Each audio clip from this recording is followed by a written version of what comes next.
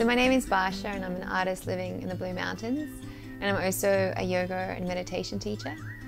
And in particular, meditation has been a big passion, interest. I don't really know how to describe it, but a, a life, I guess, examined, an examined life is, was, is what's really important to me.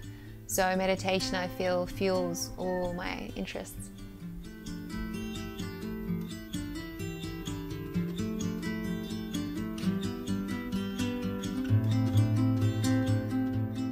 I think becoming an artist for me was really an extension of my yoga and meditation practice. It was just really to inquire deeper into what life is really about through the creative expression of art. And I've always had like a deep interest in in creating. Like since I was little, my mom said I would draw and everything, and uh, I had this kind of interest. And really, I would describe it as like this pull uh, towards creating and creativity and really, I guess, expressing myself artistically. So it just feels kind of like a natural evolution for me.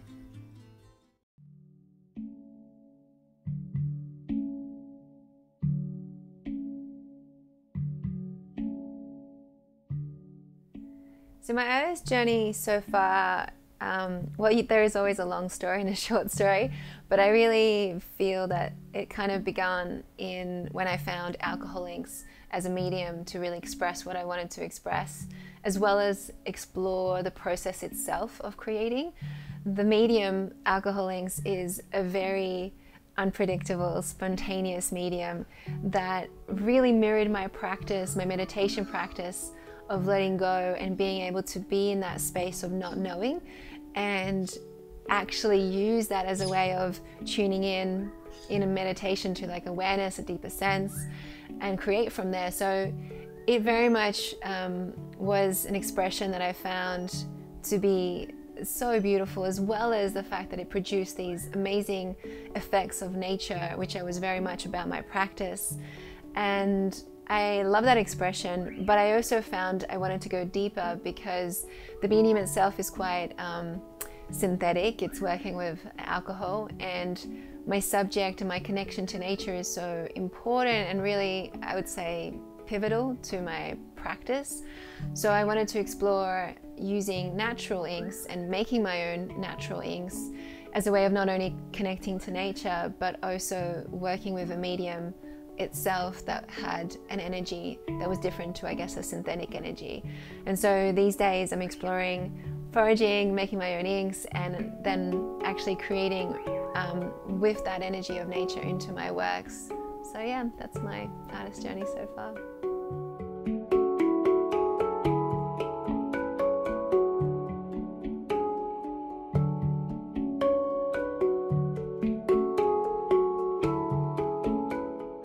I feel for me, living in the Blue Mountains is such an inspiration for my work.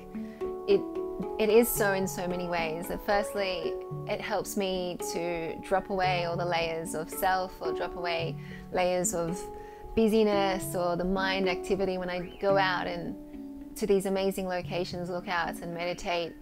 It's a real deep sense of dropping things that are unnecessary to then be open to create in the form that I create but also then draw from an energetic point of view. This place has such a deep sense of energy, and various places have different energies, which then I love to meditate and I guess soak myself in to then create from. So I would say the place that I'm in very much reflects my process and my work, and yeah.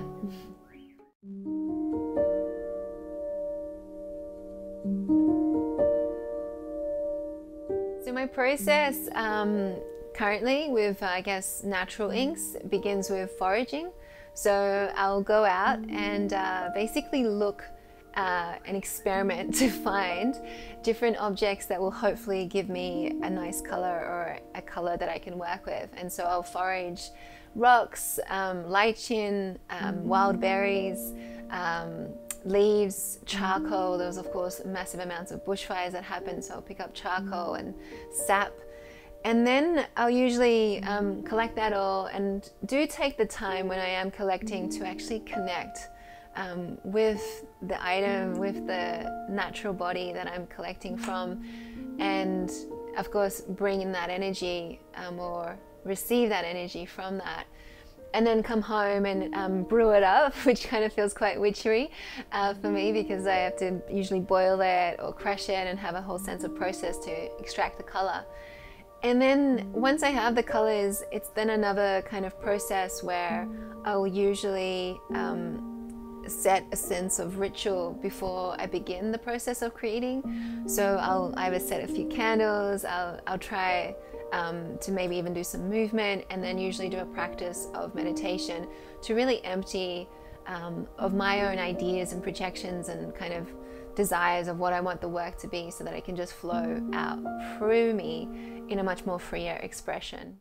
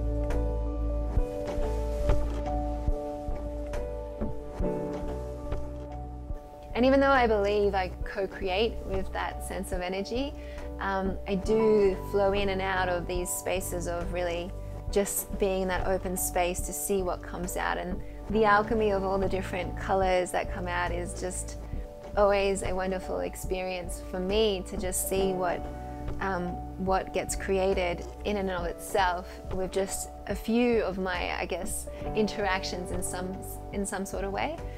And yeah, that's the that's really the process um, of my work, and I think it differs um, to maybe a traditional form of where I have an idea of this is what I want to create, to actually tuning into what wants to come through me, and then kind of exploring it through there in this kind of dance and this play that I have with whatever decides to come out.